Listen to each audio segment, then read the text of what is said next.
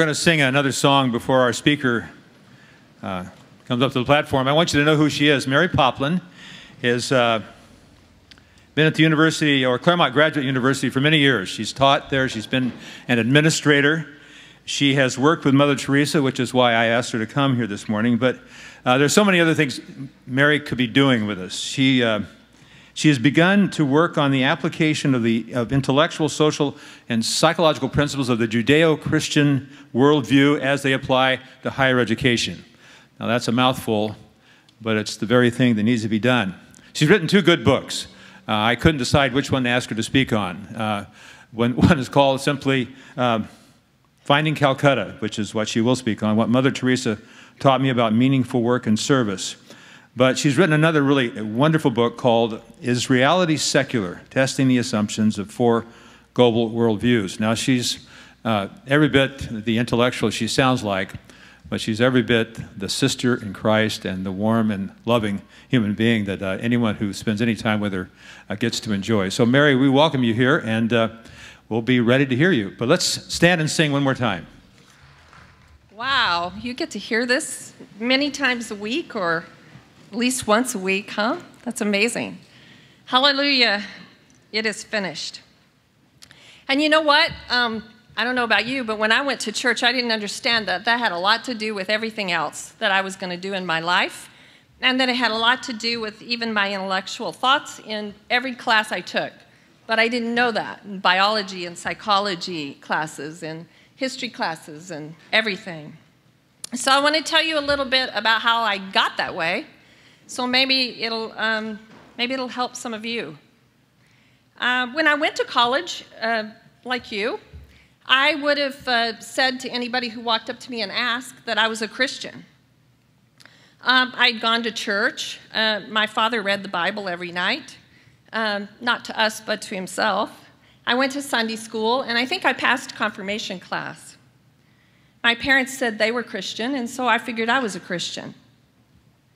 In college, though, no one talked about God. So I didn't go to a Christian college where, you know, the biology professor could talk about God. I went to a secular college. And um, no one talked about God. No one talked about how you related to the life of the mind. So soon, God and Jesus just became a sort of distant memory for me. Something that I only did on holidays when I went back to visit my parents. This happened pretty quickly, actually. By the time I got to graduate school, I was a full fledged disco runner. okay, don't laugh. You guys are still listening to the same music. I hear it all the time in your restaurants. okay, so after that, there began to be a kind of moral slide. Now, none of this was really a conscious decision. I was just kind of going along with my crowd, and uh, pretty soon that moral slide, which looked a little bit innocent at first, became increasingly dangerous. From where I stand now, I think this is what happens, or this is what happened to me. Um, I had never really said to Jesus I was going to follow him. I mean, maybe I sang it in some songs and things like that. But Jesus says a very odd thing. He says you have to be born again. And you know, people laugh at that phrase, but the reality is Jesus has no grandchildren. it's like your parent, my parents were Christian. That didn't mean I was born a Christian. There's absolutely no principle in the Bible that suggests that because my parents are Christian, I will be a Christian. I actually have to make that decision. That's why Jesus said you have to be born again. This means we have to decide for ourselves. And it's some, in some ways, at your age and even at my age, we have to decide that over and over. We have to sort of reconfirm it. Well, I was too busy. I, uh, I loved college and then I loved graduate school, as you might imagine, since I became a professor. And finally, my just not being a Christian turned into something called spiritual and not religious. That was my way of saying, I'm really, I really am a good person, but I don't need a religion, and I certainly don't need a God, and I certainly don't need Jesus to be good. And then later I became even more hostile. I'm actually perfectly described in Romans 1. In Romans 1, Paul tells us that we all know from the evidence, and I'm talking about astrological evidence, biological evidence, psychological evidence, we all know God. But some turn away. And he says their foolish minds become darkened. And though they think themselves wise, they're actually fools. Now, that was me.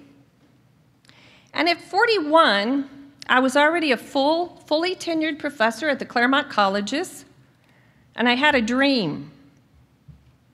And in this dream, I'm in a long line of people who are dressed in gray robes, and we're just walking, not really on a floor, but we are on some kind of level, level thing. But we're in like we're suspended in a night sky, and we're walking very slowly, and we're not looking at each other, we're not talking to each other, and we um, we're just going somewhere. And we're all in black and white, like most dreams are, right? And then all of a sudden, I realize we're going to pass by something on the right that's not that's actually in color because there's like a yellow light coming out and when i get there thank goodness i'd gone to sunday school and seen all the pictures i see that it's actually the last supper and the disciples are there and they're talking to each other they're kind of moving around they're eating and then suddenly I realize that actually Jesus is not at the table with them. And I look up ahead, and there, also in color, is Jesus. And we're a line that looks infinite. Beginning of the line looks infinite, the end of the line looks infinite. We're all having to pass by Jesus. And when I get to him in this dream, I know who he is. And I look at him and I have two revelations. I have a first revelation is that I, my body is made of millions, I understand it's really billions, of cells. And so I have this awareness of these individual cells. And the second thing that I understand about myself is that every single cell in my body is filled with filth, just filth. And at that, I can't look at Jesus anymore. And so I start to cry and I fall down at his feet. And in the dream, Jesus places his hands on my shoulders like this. And when he touched me, I felt what Paul calls the, the peace that's beyond understanding. I was so peaceful that it was almost like I didn't exist, but I did exist. And then I woke up and I found out I was crying. Well, actually, a person who had been a graduate student of mine, who was Native American, who I thought, oh, a dream, a spiritual dream. I thought it was a spiritual dream. You see, when you're that far out, you can't even understand that it's Christ that's calling you. But this person helped me know who it was and to begin to read the Bible. My own actual um, passion in research is to understand and promote teachers, highly effective teachers in the worst schools in Los Angeles. I'm talking about schools that are in the bottom 10% of the state. Okay? And so it's really like the education of the poor is really a strong driving force in my life. But now I'm sort of tiptoeing around Christianity, tiptoeing because I was at a secular university. I knew this was going to plummet my status. And uh, so I, I decided that maybe on this next sabbatical I should go and work with Mother Teresa. Who would know more about how Jesus and the poor went together? What did it look like to serve Jesus from Christ's perspective? So, the first day I walk in, first of all, I've been in Calcutta now a day and a half. Calcutta is the most chaotic city in the world. It has the highest water pollution, the highest air pollution, and the highest sound pollution mostly because taxis sit in traffic that's not moving and honk the entire time. So I walked into this building, and when I walked in, it was like I had entered another country. There was so much peace, and everything was quiet. I later learned that they didn't believe their first work was to work with was to actually work with the poor. That their first work was to pray and pray unceasingly and stay close to Jesus, who they believed was the only reason they could do the work they did. And if you saw the work they did day in and day out, you would probably agree. I also learned that one of the reasons it was quiet is they had a rule at the Missionaries of Charity that they were not allowed to speak during the day during the workday unless what they were going to say was necessary for the work to be done. That's a pretty interesting rule. you should be an introvert if you join the Missionaries of Charity, I should say. But the thing she taught me the most was about forgiveness. When I got there, Christopher Hitchens' book against Mother Teresa, the radical atheist who wrote all those books and um, against God and against Mother Teresa and did a film against Mother Teresa, hit, that book had just come out, and the sisters knew about it. Somebody had given them a copy. So I went and bought it and I read it. And then I began to watch the sisters and talk to them. One of the sisters told me that Mother Teresa said, It matters not Every time you're humiliated, use it to build humility. Wow. There's an idea.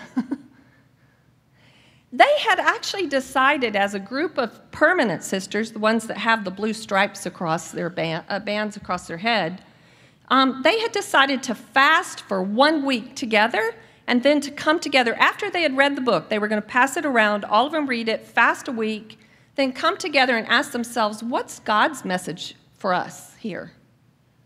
And they did. And I said, What was your message? And they said, Oh, it's a call for us to become more holy. Well, I never really found Christopher Hitchens doing that for me, but, but for them, they understood. They understood the basic principles of Christianity. Christianity is brilliant. It's the deepest intellectual framework that you could ever go into, not to mention spiritual framework and all the other ways you could look at it. Jesus is not like I thought. This is not just a good story, just another good story. This is not, Jesus is not just a good man or even a great man. If what we just sang is true, and I believe it is, I know it is, then when Jesus died on that cross, it changed the possibilities of human life forever, no matter what field you're studying. You see, God has these, He built this universe with laws, laws that govern the planets and the galaxies and all of that laws that govern mechanics, laws that govern psychology, laws that govern health, all of these laws. And you know what it says in Jeremiah several times about God's laws? The only ones we actually ever rebel against are the ones about human beings. No one ever puts up a, a, a sort of um, protest against the law of gravity, for example. We know we have to live by it or something happens. In Jeremiah, the Lord says several times, please obey these laws so that it will go well for you. So that it will go well for you. They're laws of human flourishing about the way we use our bodies, about the way we use our minds. And those laws, you can break them because we have free will. Other material things and even other animals probably have no free will like we have. We can do that. So, what did Jesus do for us that like caused the change in the world? Even Hegel said that. He said it caused a change in the entire world forever. Well, Jesus was the Word. God, uh, John tells us, and we learn in Genesis that God speaks and all this world's created, and we learn in Hebrews that it's Jesus that actually created everything. Then Jesus comes to earth as a human being and here's the amazing thing about Jesus it tells us several times in Hebrews about this. He went through every single temptation that you and I can ever go through, every single one. He went through every temptation without sinning. So when he was crucified and buried, he could not even stay dead. He was perfect. He's perfect. He's perfect the perfect example. And that's why He can forgive our sins. I don't know about you, but when I sit down at night and pick up my Bible, God's always showing me a passage that suggests that there was something I did that day, at least one, maybe many, that was really a sin. And there's a solution for that. 1 John 1 9 is the bar of soap scripture that explains it well. If I confess my sin, he's faithful and just not only to forgive me, this is what's really important, not only to forgive me, but to cleanse me from whatever it is in me that keeps me doing this. Right? That's pretty amazing. Well, I want to tell you something else about Mother Teresa. Right before I left, I was sitting like you're sitting, and she came out of the office. And when I was sitting and she was standing, we were the same height. Okay, she was very tiny. And she started shaking her finger at me. Everybody says to me, Wasn't she sweet? and I think of all the times she shook her finger at me. And she said this time, they were all very important times. They were all very important messages. This time she said to me, God does not call everybody to work with the poor like He called us to. And God does not call everybody to live poor like He calls us to live. And then she shook her finger even more and got it closer to my face. And she said, But God does call everybody to a Calcutta. You have to find yours. Well, that hit me pretty hard because I was already a tenured professor, so I began to think, well, what, what does that mean? And then when I came back, I had an intellectual crisis. If you can imagine having a professor with an intellectual crisis, that's pretty bad. I would actually begin to cry before I would go into class. And I didn't have an emotion about it. And I didn't know what it was. But here's what it is we are mostly in the United States and Europe and maybe everywhere, hopping along on one foot with secular knowledge. And that's, you know, a lot of our textbooks, even at a Christian college, you can't really get outside the secular world. And there's this brilliance that's found nowhere but in Christ. Nowhere. But let me tell you, you're, you're, you're finding Calcutta. So I, after my intellectual crisis, I worked for five, five years on a book that kind of explained what's the secular version of this and what's the Christian version of this. But I want to tell you that you have a Calcutta coming. You have all been made perfect for what your calling is, and you're just discovering it.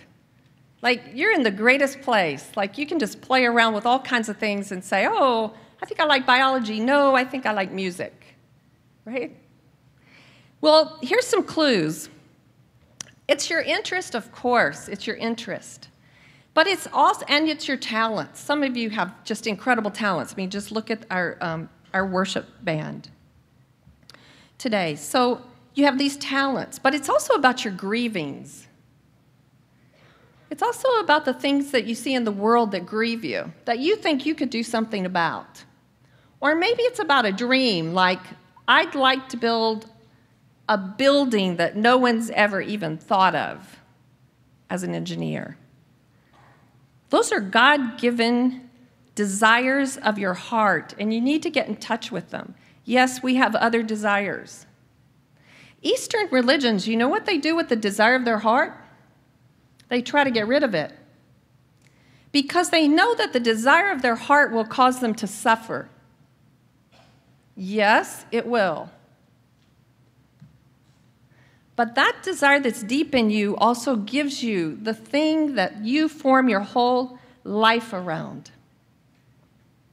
And suffering, if you use it like Jesus and Mother Teresa and people who really know, you will find that suffering is one of your best friends. And you know why? Because I've, I personally, and I think most people can say this, have never grown in my spiritual life without something that I felt was su- some kind of suffering. Whether it's small or large, suffering is the thing that will propel you in your life to become a greater person, a better engineer, a better biologist, a better musician, a better teacher. When I come and look at you, I just see the amazing potential that the world is waiting for. I mean, there are places you're going to be called that none of us could even imagine right now, and think called to do things. And I'd like to take the next minute just to um, to pray a little prayer for you.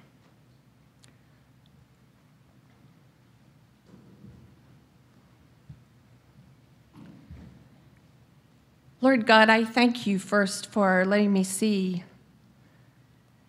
some of your most precious children. We're all your children, Lord. And Lord, I just ask that you would lead them through open doors and closed doors to exactly their destiny, Lord. That you would begin to reveal their, their Calcutta or their next Calcutta to them, Lord that you would give them the grace to be able to forgive like Mother Teresa immediately. That you would give them the knowledge and the experience that when they take their own sins to you, that you not only forgive them, but you begin at that very moment to cleanse them. And Lord, no matter how many times we repent for the same thing, each time you cleanse us a little more. Lord, I hope you make them unhappy when they get off the path to you. I hope it doesn't take them as long as it did me. I hope, Holy Spirit, that you would go to them with in their classes and when they read books and novels and see movies, and that your Holy Spirit would give them a sign, a twinge, when they're seeing something wrong. And that you would, and that you would also reveal the right side of that, Lord. Lord, I pray mostly that they will have the grace to follow you all the days of their lives and to know you in your fullness, not just in their emotions, but in their mind and their spirit and their soul. And I pray these things in our precious, brilliant Lord Jesus' name. Amen.